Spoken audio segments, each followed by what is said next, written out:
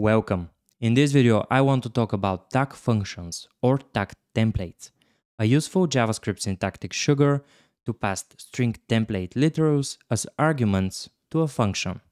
Alright, I have an empty index.js file here, and let's write a tag function. I'll start with the actual function invocation. Let's say my function is called greet. For this use case, you, to call a tag function, you specify the function name, and then immediately after that, you use a string template literal. And in this case, I will actually write a greeting.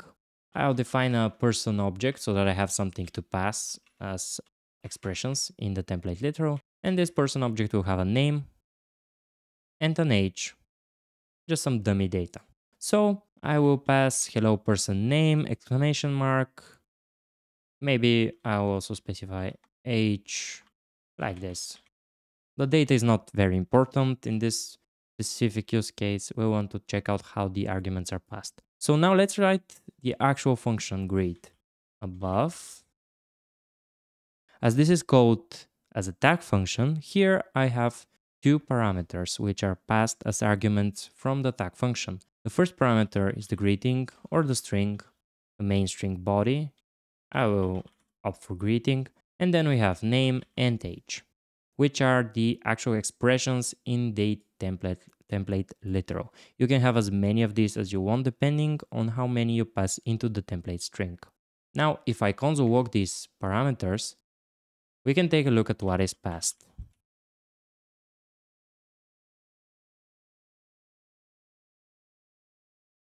All right, so let's execute the, uh, the actual file now with Node.js. And here are our parameters. The first one is an array of substrings. You see that the first substring is hello empty space, hello white space. Then we have age and then the exclamation mark. So the array is split by where the actual expressions in the template literal are. And then the expressions are passed as additional arguments. Here I can destruct to some arbitrary variable name, parameter name. And if we check that out now, we will have an array of parameters, which in many cases is a better idea depending on what you need the function to do, because this will scale to infinite parameters very well, while in the other case, you have to write a name for each additional parameter. All right, so this is not a terribly useful function right now. Let's write something more useful. Tag functions have many use cases. Some of these are, for example, to format HTML or in any other templating language. So I'll write a format greeting function, which will accept the string and a name.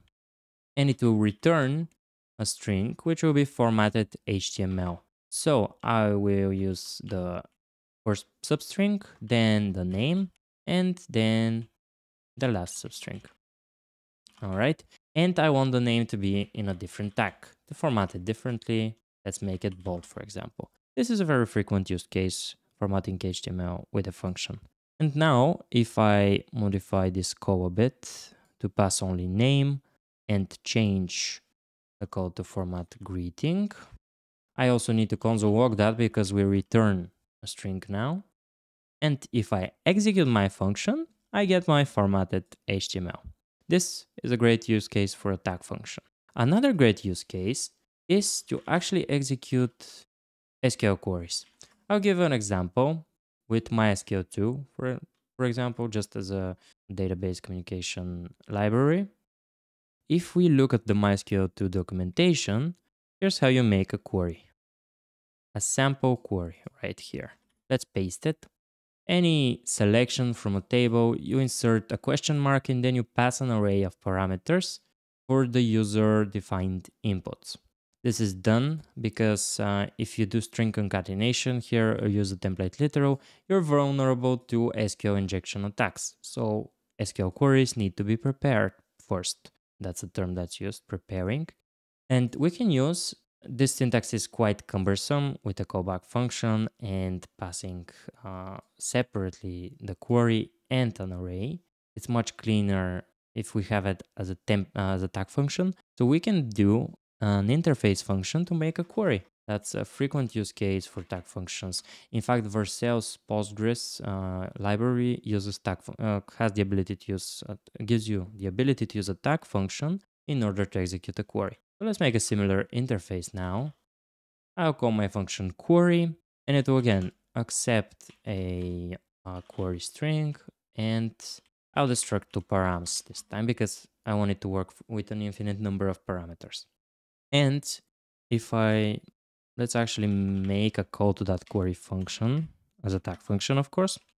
And let's do a sample uh, query. Select everything from users, maybe uh, where name is equal to person name and uh, age is equal to person age.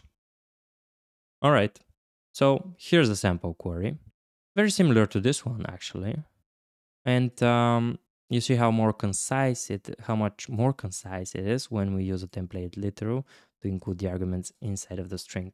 So now in this query, I have my array of substrings, which will be three substrings basically, and uh, this one, this one, and an empty one at the end. I can join them basically to make my actual query. I'll call this substrings and my query will be substrings join join and I'll join them with a question mark.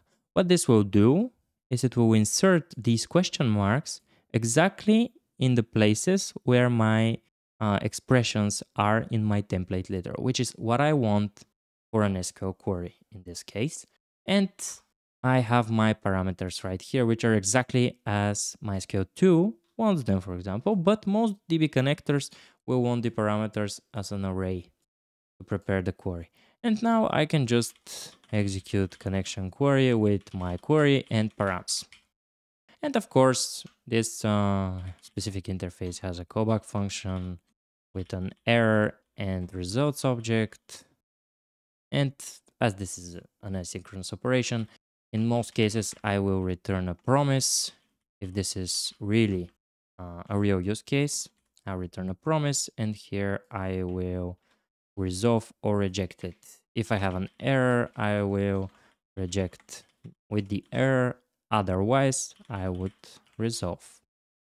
This is how I would write it usually if I want to make this function in something like a production application or a proof of concept.